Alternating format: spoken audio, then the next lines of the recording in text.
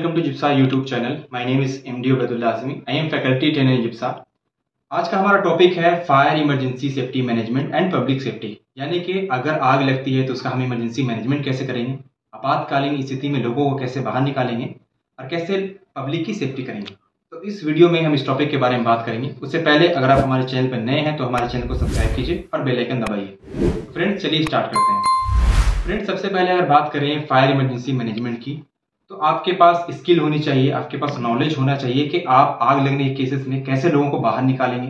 किसी work place पे, किसी बिल्डिंग में अगर आप काम कर रहे हैं और वहाँ पे लोग फंस चुके हैं आग के केस में तो आप कैसे उन लोगों के उन लोगों को बाहर निकालेंगे?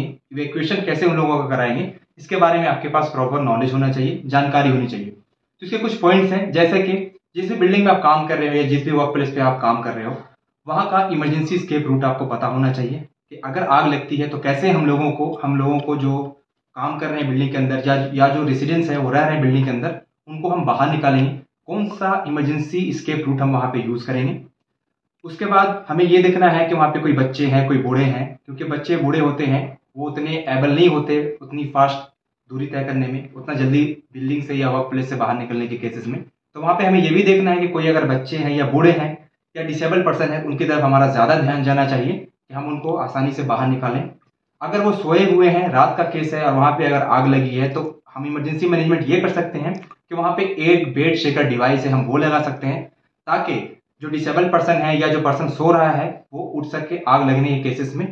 स्मोक अलार्म सिस्टम का हम यूज़ कर सकते हैं, जो हमारे स्मोक अलार्म सिस्टम होते हैं, कि जैसे ही आग लगती है और वहाँ से जो धुआँ राइज होता है, उस स्मोक को वो डिटेक्ट करे और सीधा सिग्नल जो है फायर पैनल को भेज दे। इन सब चीज़ों के साथ हम क्या कर सकते हैं? फायर सेफ्टी मैनेजमेंट कर सकते हैं। उसके साथ ही साथ हम वहाँ पे ट्रेनिंग भी प्रोवाइड कर सकते हैं, जो हमारे बिल्डिंग में रेसिडेंट्स रह रहे हैं, या फिर जो हमारा वर्क प्लेस है, वहाँ पे अगर लोग रह रहे हैं तो उनको हम ट्रेनिंग प्रोवाइड करेंगे कि आपके पास इमरजेंसी स्केप रूट क्या होना चाहिए, आपके केसेस में।